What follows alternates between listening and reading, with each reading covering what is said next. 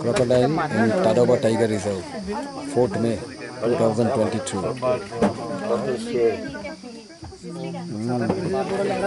This is Tadoba River. It is full of, it is totally infested with crocodiles.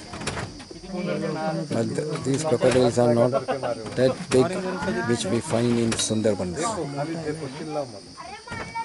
Very near, hardly 15 to 20 feet.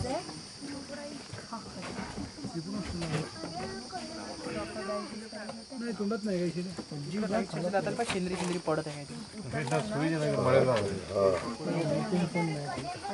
सूर आहे काहीतरी orange orange माती असं की काय असं माहित नाही पण ऑरेंज ऑरेंज लागू Nasty.